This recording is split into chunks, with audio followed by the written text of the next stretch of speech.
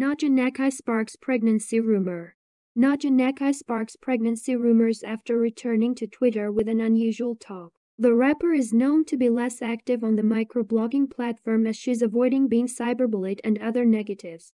Love is in the air and the romance between rappers Nadia Nakai and AKA seems to be going strong, despite the naysayers. Bragga's tweet about her craving for pie and being desperate to buy it in Cape Town got some persons thinking it might be having a pregnancy craving.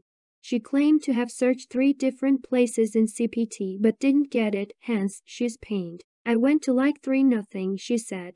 A Twitter user suggested she was pregnant after she opened up about the craving.